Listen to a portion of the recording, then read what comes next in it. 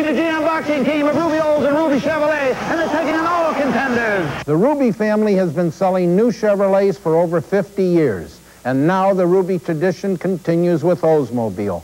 My sons Bob with Oldsmobile, Stuart with Chevrolet, and we're really fighting for your business. Don't believe it. The Rubys will give you $100 cash if they can't beat your best deal. Right now!